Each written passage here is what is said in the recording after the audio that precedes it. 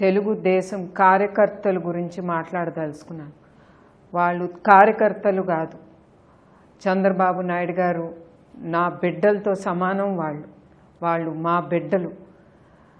ఆ బిడ్డలు తల్లి తండ్రుల కోసం హింసించబడుతున్నారు. వాళ్ళు జైలుకి వెళ్ళారు లేని కేసులు పెట్టారు జైల్లో నిర్బంధించారు తర్వాత లాఠీతో కొట్టించుకున్నారు. అది వాళ్ళు అవన్నీ పడ్డారంటే తల్లిదండ్రుల కోసం పడ్డారు. ఆ పార్టీ జెండా ఎప్పుడు పైన రెపరెపలాడాలని వాళ్ళ జీవితాల్ని అడ్డం పెట్టారు. తర్వాత స్త్రీలు ఆవిడ ఒక స్త్రీ అనేది కూడా మర్చిపోతున్నారు. ఇష్టం వచ్చిన లాగటం పడేయటం. అది చెప్తుంది లీడర్షిప్ ఆఫ్ ద స్టేట్ ఎట్లా ఉందని.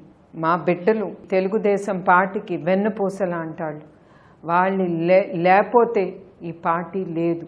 మా బిడ్డలు వాళ్ళ తల్లిదండ్రుల కోసం పార్టీ కోసం నిరసనలు చేస్తున్నారు నిరాహార దీక్షలు చేస్తున్నారు. మహిళ శక్తి అని మహిళలు కూడా దీక్ష చేస్తున్నారు.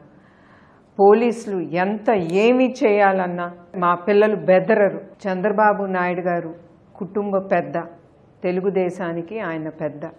ఆయన కోసం ఆయన పిల్లలు దీక్ష చేసిన నిరాహారాలు చేసిన వాళ్ళు లాఠీ చార్జ్ పడినందుకు కూడా నాకు చాలా బాధాకరంగా ఉంది. మీ అందరికీ పేరు పేరున మీ అందరికీ నా మనస్ఫూర్తి ధన్యవాదాలు. మీ అందరికీ తెలుసు చంద్రబాబు నాయుడు గారిని జైల్లో నిర్బంధించారు.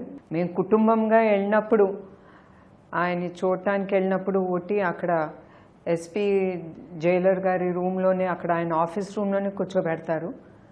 రోజు ఒక లాయర్ వెళ్తారు. ఆయన చూడటానికి ఆయన ఒక్క ఆయనే అలౌ చేస్తారు ఆయన రూమ్లోకి ఆయన నిర్బంధించిన గదిలోకి. ఒకరోజు ఆయన చెప్పారు కుటుంబ సభ్యులకి ఆయన బోన్ చేస్తూ ఉంటే చేతిలో ప్లేట్ పుచ్చుకుని బోన్ చేస్తున్నారని.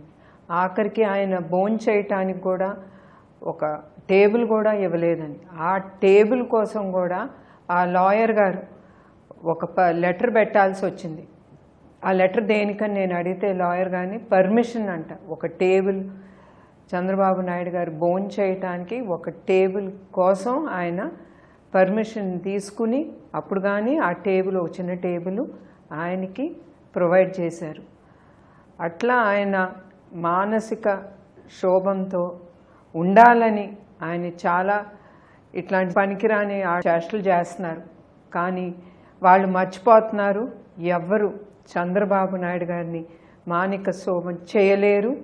ఆయన ధైర్యంగా ఉంటారు. ఆయన మెంటల్గా కానీ ఫిజికల్గా కానీ చాలా స్ట్రాంగ్ పర్సన్ ఆయన.